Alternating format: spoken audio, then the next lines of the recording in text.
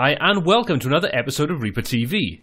In this video, I want to show you something that's been added to the latest version of Neutron 2 by iZotope and that's the visual mixer.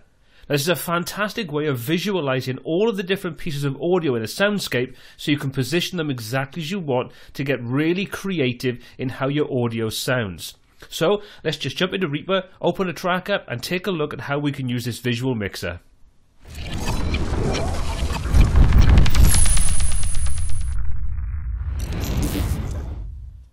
So I've opened Reaper and I've loaded a session in and I'm ready to start working now so we can add in this particular visual mixer setup.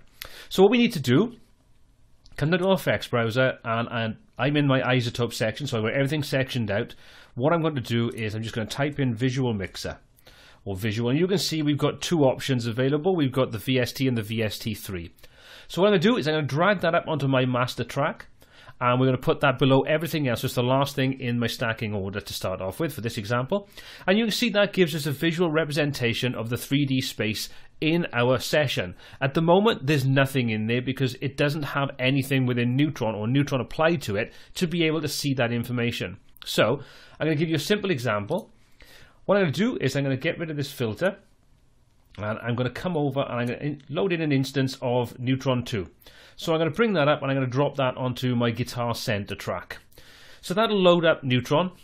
Gives me the options to go through and set a few bits and pieces up on there. I can sort of EQ this, mix it. I can use the track assistant, whatever I want. For now, I'm going to leave that as is. So it's just just using that to sort of pull it into the visual mixer. So we'll close that down.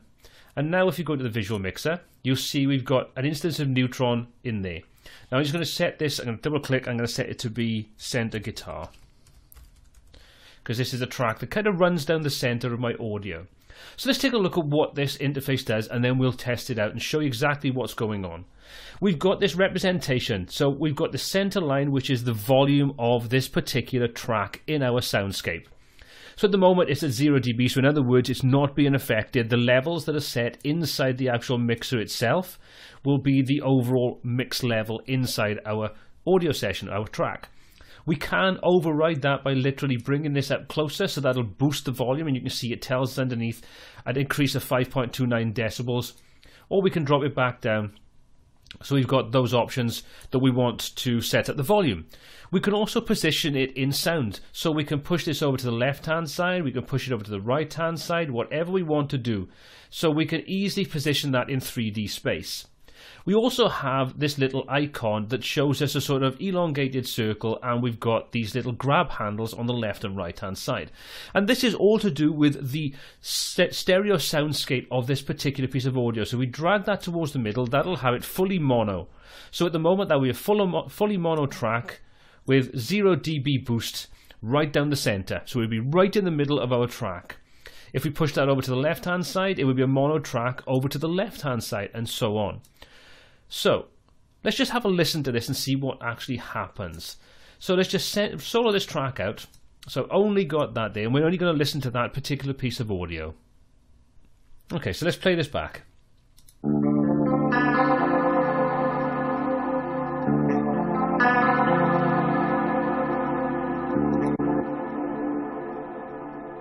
So you can see, as you'd expect, this is a fully mono track right down the center with no boost in audio level. So what to do now is I'll play it back and I'll start to move this around, increase the volume in there, decrease the volume, push it over to the left, the right hand side. And you can hear it then, get a real feel for how this moves around the soundscape. So let's have a listen to that.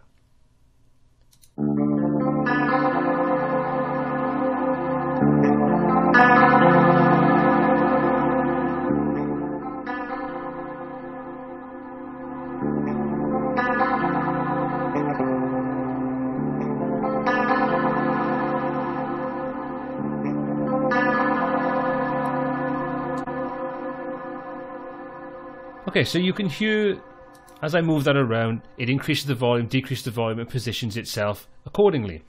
But with these grab handles, we can also increase the amount of stereo imaging that's applied to this. So let's take another example where I'll just leave this in the center, but we'll increase the stereo imaging, and you'll hear the sound that this gives us.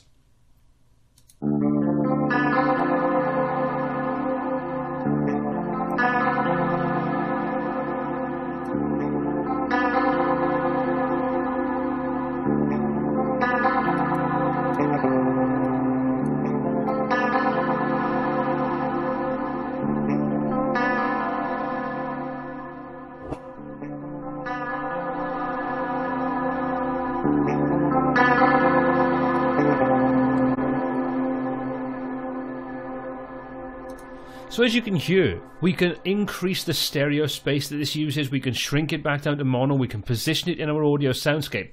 And this is really, really cool because this gives you the ability to visually see all the different instruments, where they are, how wide they are, and you can then adjust things to get them exactly as you want in a much more straightforward fashion by using this positioning than it is just by using the left and right pan and the volume levels and so on, which is kind of it's okay, but it doesn't give you any kind of visual representation of where things are. You've only got an audible representation, and being able to see where you want to position them can really help the whole sort of experience of what you're trying to achieve here.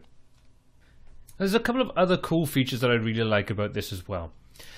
First thing I want to sort of go through is you see that I had to put an instance of Neutron onto this particular track to call this up and get it into the visual mixer. And this is the sort of inter-application link that you have between all the different components inside Neutron and Ozone. But we don't need to put a full instance of Neutron on there. We don't even need to put any kind of instance of Neutron on there. What we can do, if I close this down a second, come to our effects browser, and what we've got available is the Neutron 2 Mix Tap. What that does is it's a very simple link between these different inter-application sort of programs. So what I can do is I can drag and drop this onto, let's say for example, my guitar left. Once I've done that, it puts this on there, and you can see it just gives us Mix Tap, which we can re rename this if we want. We can say guitar left. We've got some options in there, but we can leave everything as is, and it's a very low latency, very low sort of resource uh, sort of link between those two applications. So we can now close that down. Let's put a couple more of those on there and we'll say we'll put this on guitar right as well. So we'll just rename this. So we've now got that information there, and if we wanted to, we could come down to any of the drum pieces, the bass, and so on. We can apply this little Mix Tap either to each individual track, or if we're using master and parent tracks and so on, we can sort of drop it on there. So I can say, well, I'm going to do the same on the bass, but I'm going to put this onto the bass master so I can now control the master bass everywhere. So again, we'll name this bass master. And we'll just close that down. Now, if we go back to the Neutron 2 visualizer, you can see we now have a visual representation of those different instruments. If we look on the right hand side, we've got the bass master, guitar center, guitar left, guitar right. So I can click on any of those, position them wherever I want in my soundscape, make them as wide or as sort of shallow as I want. So I can make sure the bass is completely mono. I don't want any widening on that. But the guitars I may want to make wider. I may want to sort of push those over so the guitar right and the guitar left is sort of more spacious so they have a nice overlap but they're still positioned left and right so we can control that independently of our mixer so we've now got a lot of control visually over how this actually looks and sounds not only that we can, if we want to, use these mix snapshots. So we can try out a mix, try some different things in there, save that as a snapshot. We can try something else, save that as another snapshot, and repeat that for a third time and apply that to a third snapshot. So we can easily audition these different sort of layouts, these different visual and audio layouts, and then we can switch between them just by using these snapshots very quickly and easily. And to create a snapshot, very easy. All we need to do is have the audio set at the way we want, Simply come up to either the A, B, or C snapshot, click on the set, and there we go. We've now got that. So we can just position these somewhere else, adjust anything we want on there, so we can make that narrower, position them anywhere. All we need to do, come and click set on the second option, and now we can audition those by clicking on the A or the B, and you can see it immediately changes the way the soundscape is actually displayed in the visual mixer, and all the settings we set up in there. So, very, very cool.